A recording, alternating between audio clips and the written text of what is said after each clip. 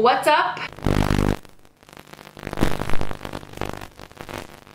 Um, so today I'm doing a video and I'm partnering with Kin Community, which is my network. Um, and so I'm partnering with like a bunch of different creators in the network and we are all coming together to make a playlist, I guess, of different videos to help you get healthier. On April 7th is World Health Day and summer's coming up, so I feel like everyone's kind of in the mindset of like getting healthier, just feeling better, you know, feeling fresher and not so like dark and dreary because winter is now over. Um, you might have come from their channels to my channel to see, so if so, hi. Um, but everything will be linked down below to check out their videos and that playlist and all that good stuff. In my video, as you can tell by the title, is just five simple, easy, and realistic tips to have a healthier lifestyle. So let's just uh, jump right into it in my workout clothes because I'm gonna go work out after this. So tip number one is drink more water. And I feel like this is the tip that everyone gives, but it's just so necessary. Your body's made up of like 60% water. So you need to replenish that water. You need to you just need to give your body the water that it needs and you'll just feel so much better. You'll have so much more energy. And if you don't like water, add some lemon to it. I drink lemon water every morning. Lemon's a great little metabolism kickstarter, especially in the mornings, and it'll add some flavor to your water as well. But drinking water is very, very important. Tip number two, if you're a big snacker, don't snack on unhealthy items like chips and chocolate bars and all that.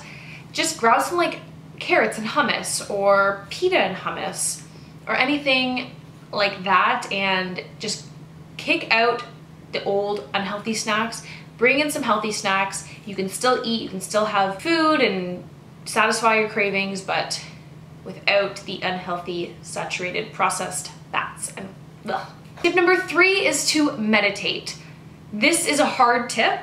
Getting in the hang of meditation can be a difficult one. It's definitely a practice, but you will honestly feel so much better in your body, in your spirit, in your mind, and there's so many great apps and books to help you start meditating. But if you suffer from anxiety or you know, you overreact or anything like that, meditation can just really calm you down and give you a nice 10 minute break, mental break from the day. And I highly, highly, highly recommend it.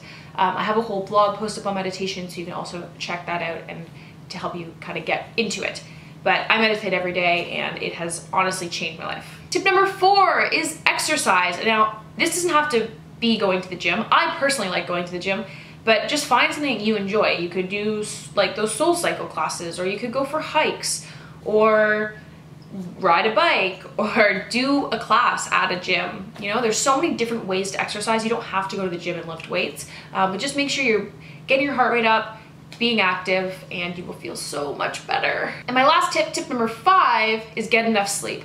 I think when you're tired, you make a lot of unhealthy choices and it's just harder to make those like good healthy decisions so just get enough sleep get your seven to eight hours or whatever your body needs um, there's a great app called Sleep Cycle that will actually help you wake you up. Uh, and so you don't feel, when you wake up, you don't feel like all groggy and gross.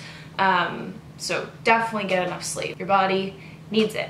And I actually have a pro tip for you guys. Pro tip, don't drink alcohol during the week. Alcohol is literally so bad for you. So instead of like going for a beer after work, like you come home and you crack open a beer, like have a water or have something healthier. Alcohol is not good for you. Obviously you can have your occasional drink. You can drink on the weekends. Like, I'm not saying cut alcohol out completely, but try to cut back a bit. And I think you'll feel a lot better because even if you have a few drinks and then you don't think you're drunk or anything, the next morning, your body's still trying to process that alcohol out of your system and you're not gonna feel the best that you could feel. So cut back on the alcohol, cut in on the water, and you'll feel so much better. Thank you guys so much for watching. I love you all. Make sure to check out the other creators videos and you have a whole well-rounded playlist on how to get a healthy kickstart to the summer and World Health Day. Um, thank you so much for watching. I love you all. Peace and love.